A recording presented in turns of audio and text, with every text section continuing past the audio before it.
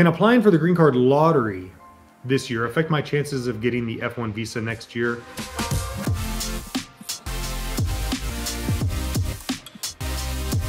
Usually, no, because you'll probably not be selected in the lottery, in which case it's not going to have uh, any effect on your, your application for any type of visa in the future. If you are selected for that visa, though, that that DV lottery, the diversity visa, if you are selected and you do submit a petition for it, but then you you don't get an interview, then yes, that's going to affect you negatively in the future because it will show that you had immigrant intent. You filed that petition, you got in line for an interview, and you didn't get it.